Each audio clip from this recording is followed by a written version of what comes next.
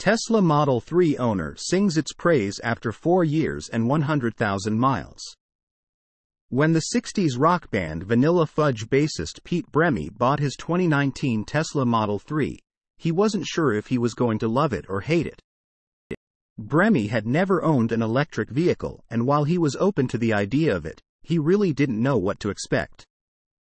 However, after four years of ownership and more than 100,000 miles on the odometer, Bremy has found he much prefers electric drive over the rumble of the big V8s he owned over the years and says he'll never go back to internal combustion. I'm a friend of Pete's. And when I heard that he passed the 100,000 mile milestone, I asked him if he wanted to offer his thoughts on ownership and his overall electric vehicle experience. He agreed and we set up an in person interview which I recorded. One of the most intriguing things we discussed was the overall cost of fueling and maintaining the Model 3. Bremy has spent a total of less than $7,500 for the electricity to charge his car and for all maintenance and repairs to date.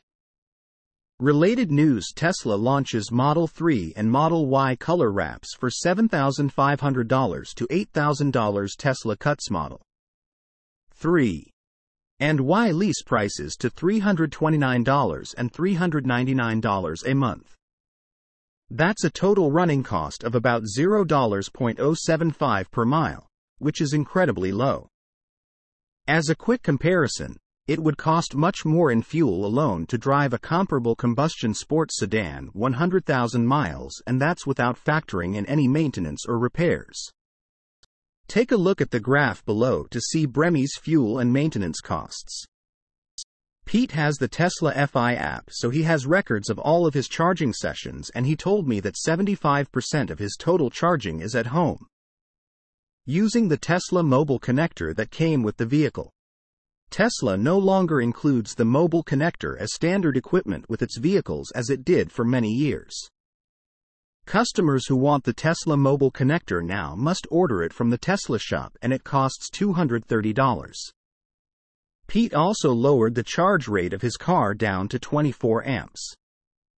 Since he found that was fast enough to always have his car charged to the 80% daily charging limit he set up while charging overnight at home. He figures the lower charging AC rate 24 amps as opposed to the 32 amps the mobile connector can deliver is probably better for long battery life. However, lower AC charging rates haven't been proven to make a significant difference in the rate of battery degradation.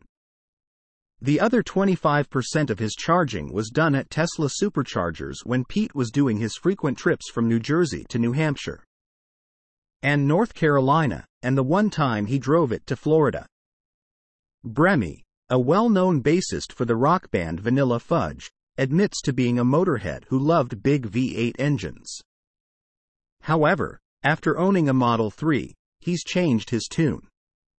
Source Reposted and summarized from Tom Moloughney at InsideEVs. My take. Almost anybody would love a Tesla, after having one, for a while.